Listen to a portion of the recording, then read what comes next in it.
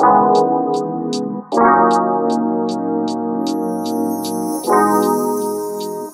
there, this is Polly. Do you wonder why I'm not starting from scratch? Actually, the doll I'm gonna show you today was this guy from the durability test, but I didn't like how his eyes looked bloodshot, so I removed the makeup. And then I did another makeup facing forward, which turned out to be slightly cross-eyed.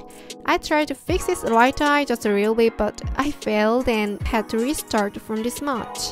While it, I'm gonna tweak the makeup.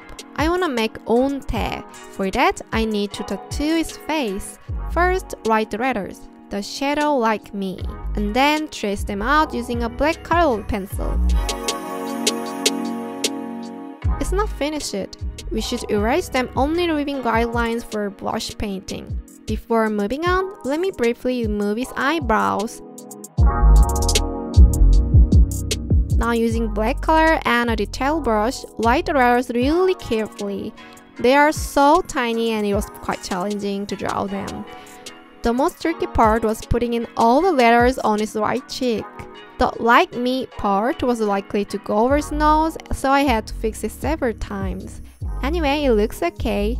Let's draw his eyebrows again.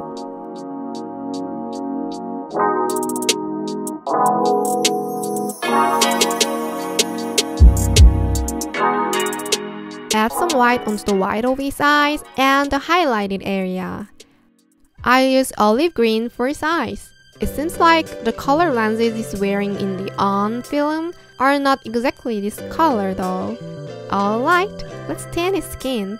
I'll make natural skin tone first by grinding different pastels and blending their powders. The colors I used are burnt sienna number 4, light oxide red number 3, and titanium white.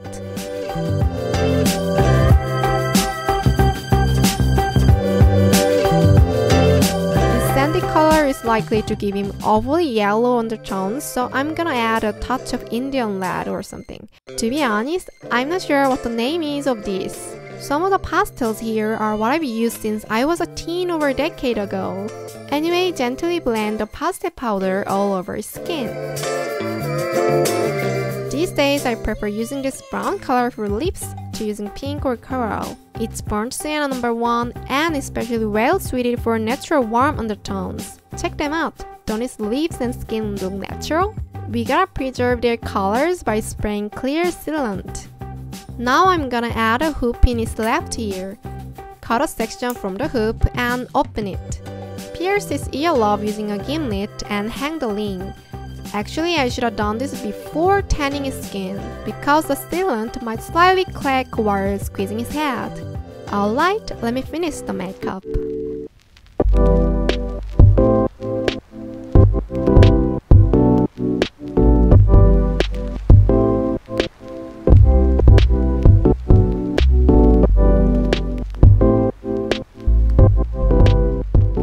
I'm adding the facial molds, but it's all out of focus, sorry for that. Considering it will be partially covered with the bangs, I made a heavily made up face so it can stand out through them.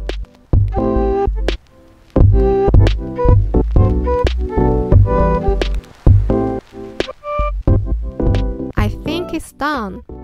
By the way, his head is smaller compared to the original doll. I put his head in a glass of acetone to easily remove the stuck makeup, leaving it for about 3 minutes. This was 6 months ago and I found the head had shrunken, notably around his scalp area. Seems like it's about uh, 3mm shorter and has slightly smaller facial area. Fortunately, the diameter of his neck remained almost the same, allowing the neck connector to go through it. Seeing the entire bodies, you can see the difference better. As I already mentioned, it was at the end of last year that I did the very first makeup of Taehyung and then made a wavy black hair. I braided the yarn hair and even used a heated needle to make tight curls, which didn't go very well. The curls ended up getting loose. I felt the need to try something new. To return to today's ON Tae, I decided to go about planting hair or pump rooting. This way, I'll be able to go with wavy hair strings from the beginning. So I gave it a shot with another doll beforehand. Looks okay, but these blind spots get on my nerve. So I painted V doll's scalp in the same color as the hair strings before starting to reroot. I'm briefly showing you for starters. You will need hair strings. These are synthetic mohair, but you can use Saran hair or high temp hair as well. You can get rooting needles from doll supply shops online. Now let's learn step by step. A rooting needle has two points like a cloven hoof. Grab a tiny bit of hair, fold in half, and hang it between needle points. Point to the pore and stick the needle until the hair gets into there. Pump the needle about 10 times so the roots of hair strands can get tangled inside. Don't brush or pull out hair before you plant enough of it in rows. The needle points have very sharp blades, so be careful, otherwise you might run them into your finger like me. Wearing a thimble is a good idea. I cut it to fit my thumb, but I pricked my pinky this time. Wear as many thimbles as you can.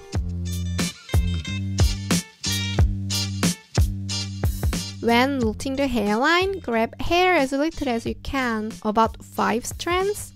The secret of natural looking rooting is to plant only a tiny bit of hair in one pore while filling as many pores as you can.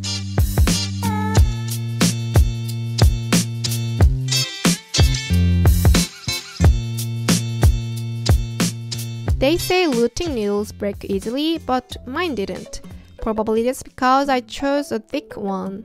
It took about 10 hours to fill all the pores.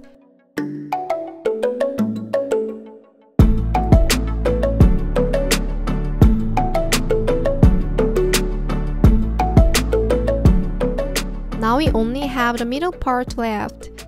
While we've been using this much of hair so far, from now on, we needed thick hair enough to cover the scalp. And I just realized that I wouldn't have cut my fingers if I had pumped the needle slowly like this. Sticking thick strands of hair is not easy either into the needle or into the pore. So, this will be the last pumping action.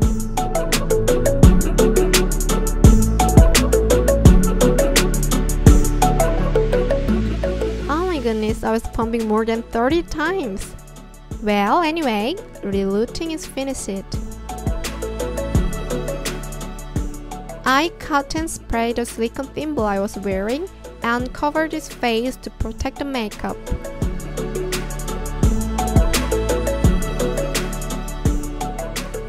Now I'm gonna boil wash his hair so the roots can be fixed.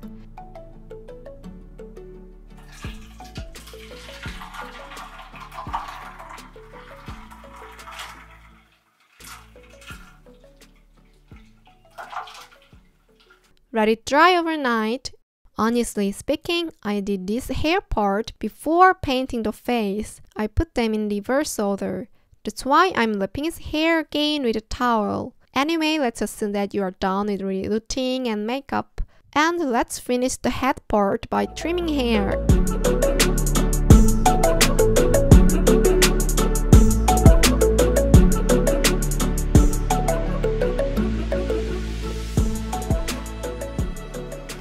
Voila, it's done. Let's move on to the neck tattoo. Sketch the twigs with a gray pencil. Spray clear sealant and define the lines using a black pencil. In reality, it wasn't a tattoo but henna, but anyway, my Taehyung doll will have a clear and half permanent tattoo.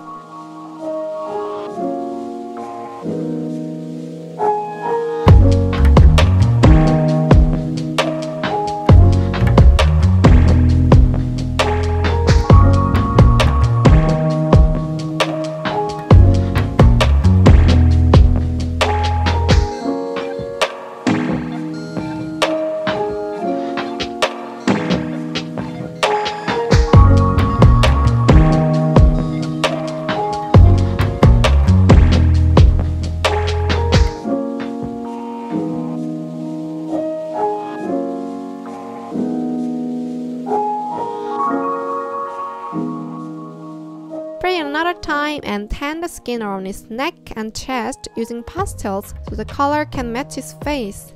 Spray once again and make the lines smoother by painting with a brush. I don't have the footage, but I tan the skin once again and finish it by spraying. Let's make his outfit. Actually, I started making the Rick Owens pants as soon as I watched them in the Kinetic Manifesto film. I like the black cargo trousers better than the white ones, and luckily Taehyung wore them as well on some other stages. These pants I made have lots of details, but they didn't fit the doll good enough, and the fake zip fasteners around ankles were weird. So then, see what I have here. I found out I could simply get JK's outfit from a Korean crafter. It took about a month to get, but this one is excellent value and has great quality. It almost feels like she's donating her talent for armies. I requested her to change the size for an Obitsu body, so I thought the sleeves might be small long to this Mattel body, but looks pretty nice. I don't want my video to end this way. Why don't I make black wings for him? As many of you might have already noticed from the thumbnail, his appearance will be a combination of On and MOTS 7 concept photos. But anyway, this whole thing is a kind of fan art which I do to suit myself. Here's the materials you need. A coil of flexible wire to build a frame structure, black feathers of course, super glue, nippers, tweezers and scissors, rubber bands, and a soldering iron and solder lead. There are various types of wings. I wanted to make the half-furred ones. I'm not good at this kind of craft, so I involved Rocky again in my fan art activity and is gonna make them. Ta-da! Here's a frame structure made with wire and a soldering iron. It seems cool already. He painted a frame in black using nail polish.